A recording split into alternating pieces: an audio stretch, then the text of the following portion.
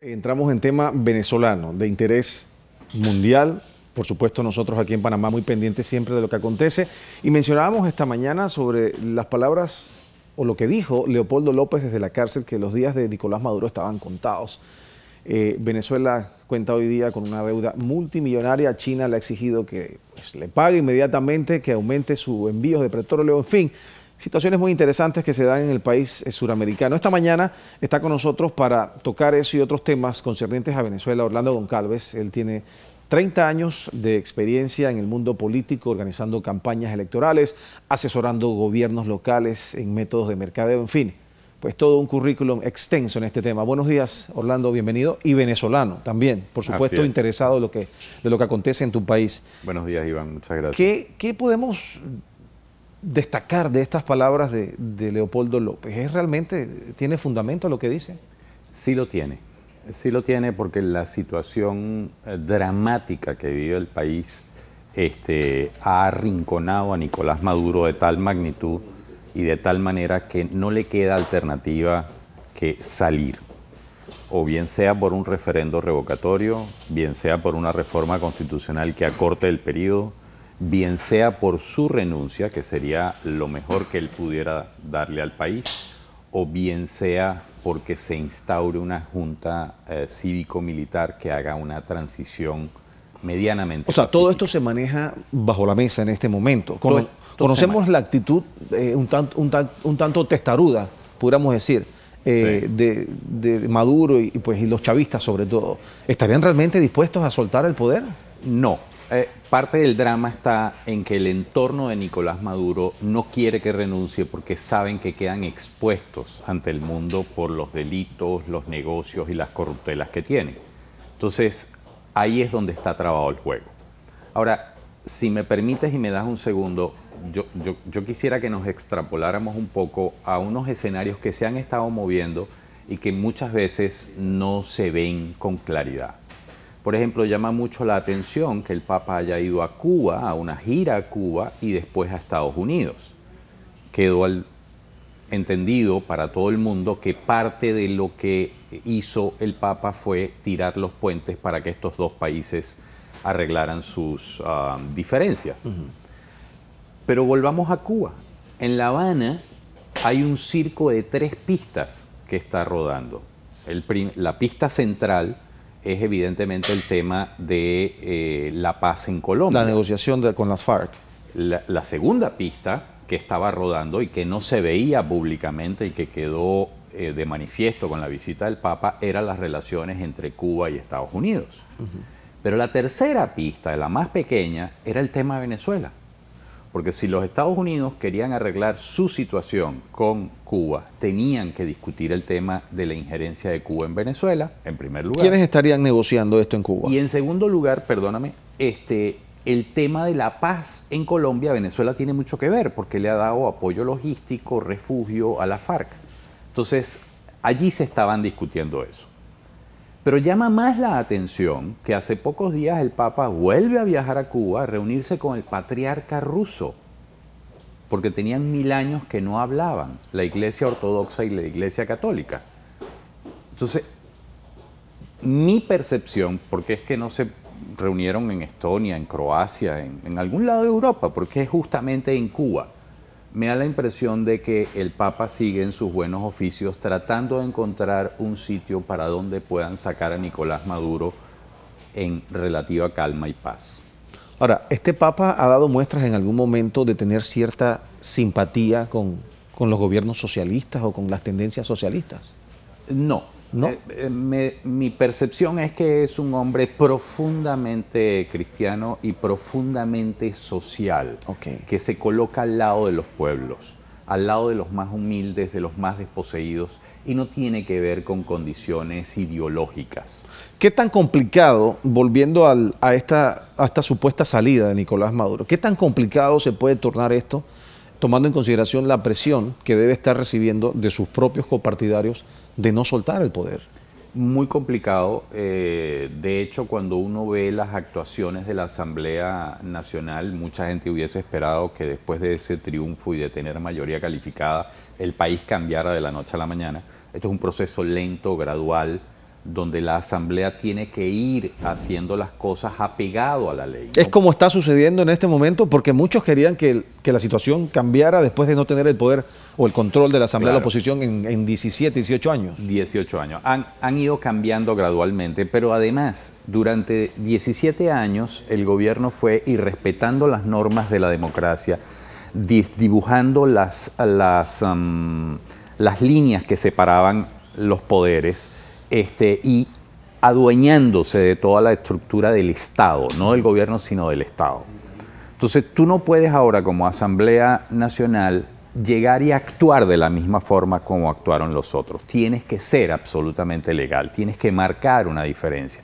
Y eso toma tiempo. Ahora, ¿tiene poder realmente la Asamblea con lo que hizo Maduro de nombrar y cambiar a todos los, eh, la Corte, el Supremo, como le llaman en Venezuela? Sí, ah, la Asamblea de hecho ya nombró una comisión que tiene que abrir un proceso, que tiene que investigar los nombramientos y que probablemente, muy probablemente, porque es írrito lo que hicieron, nombrar los miembros de la Corte sin una mayoría calificada, la conclusión de esa comisión será estos nombramientos no son válidos y se reversan. Entonces hay que ir paso a paso. Y las medidas que está tomando la Asamblea Nacional de Venezuela son justamente medidas que van arrinconando cada vez más al gobierno. Por ejemplo, la, ley de amnistía. El gobierno dice, no la vamos a acatar. Oiga, no es que la quiera acatar o no, la tiene que acatar.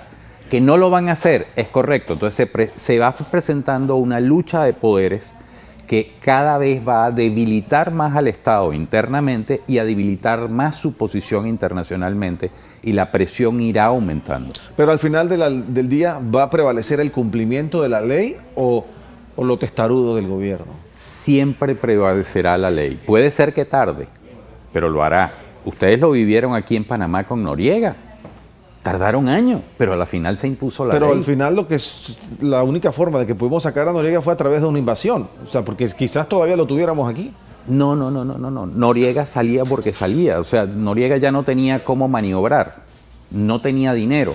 Y allá va mi siguiente pregunta. O sea, todo este proceso de transición supuesto que debe darse en Venezuela y luego de estas palabras de Leopoldo López, eh, ¿se va a hacer dentro de un contexto pacífico? Eso quisiéramos y eso deseamos y eso anhelamos.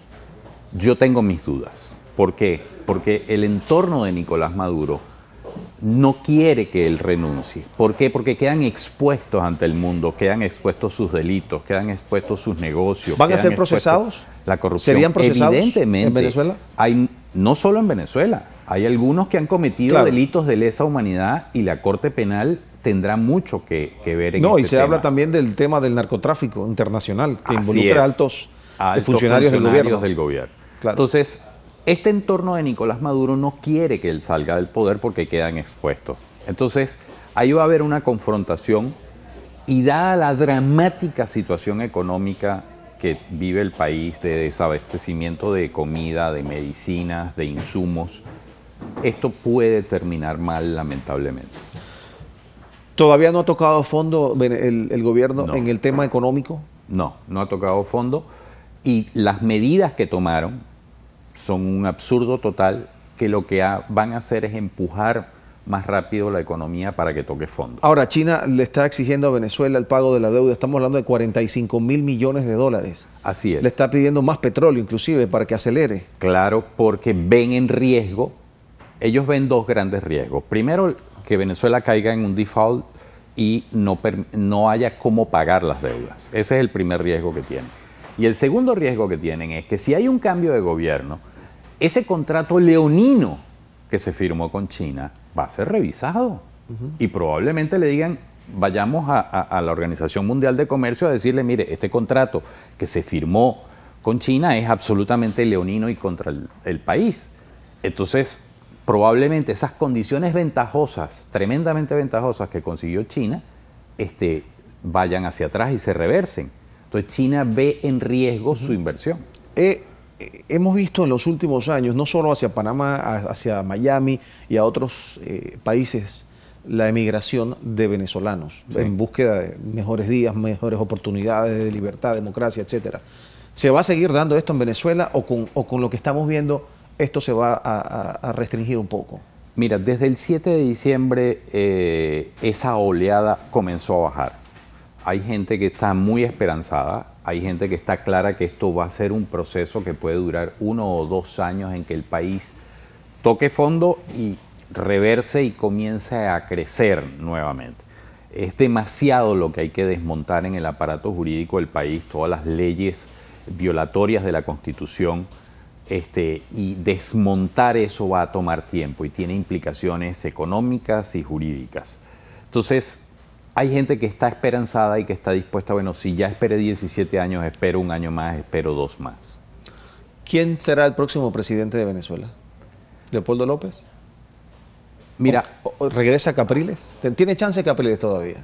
Mi percepción en este momento como consultor político de acuerdo a lo que vi hacer a Leopoldo López, a Capriles y a otros actores desde hace varios años hacia acá, mi percepción es que el líder eh, más sólido, con más bases hoy en día, es Leopoldo López.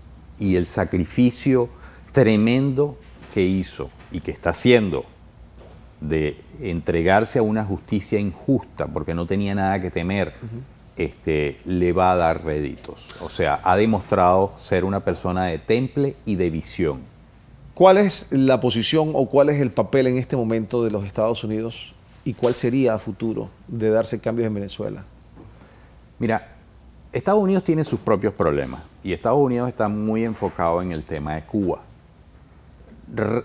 arreglar las relaciones con Cuba va a tener incidencia sobre el tema venezolano pienso que están jugando por esa vía. ¿Cuál va a ser el papel? Imagino que al igual que han apoyado en otras circunstancias, apoyarán a Venezuela económicamente, este, eh, ayudarán en la lucha al combate de la corrupción, tratando de demostrar y de apresar a altos funcionarios del gobierno que están involucrados en gravísimos casos de corrupción y sobre todo en gravísimos casos de narcotráfico. Muy bien, Orlando Goncalves, gracias por pasar por acá y compartir pues tus eh, puntos de vista en el tema venezolano sobre lo que pueda suceder en un futuro. Con gusto. Eh, con el tema político sobre todo y económico.